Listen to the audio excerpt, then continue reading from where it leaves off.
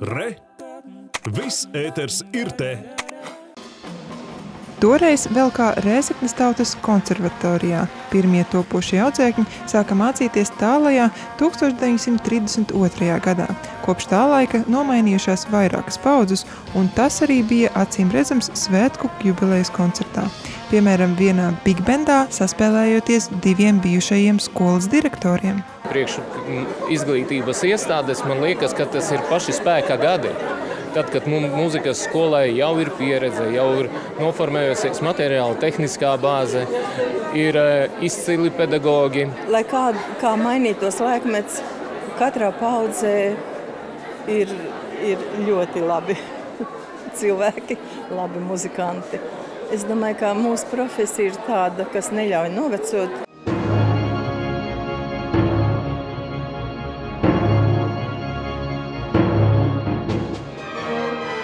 Attiecības starp studentu un pedagogu pārvēršas attiecībās starp diviem vienlīdzīgiem kolēģiem, un tas nereti notiek studentam vēl mācoties pēdējos kursos, nevis tikai pēc absolvēšanas, stāsta mūziķi. Nē, nu, subordinācija zinām ir, es joprojām viņam saku mani uzrunāt uz jūsu. Un es arī tā daru. Bet mēs esam, es domāju, labi draugi. Un īstenībā kontrabasists saime visa ir ļoti draudzīga. Mums vēl Eināru Eversu vajadzēja šeit blakus, kur, kurš ir mūsu absolūtā kontrabasa zvaigzne.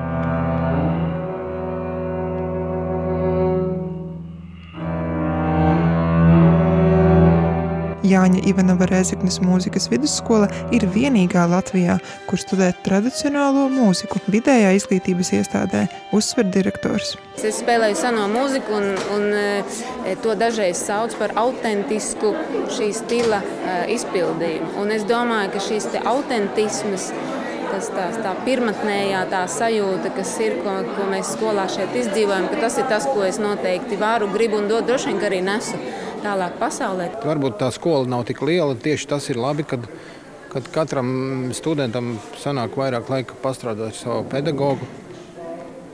Un, un arī kā reģionam, kā tādam Rēzeknes mūzikas vidusskola ļoti liela nozīme. Savukārt viens no jaunākajiem skolas virzieniem ir pievērsties džezistu skološanai.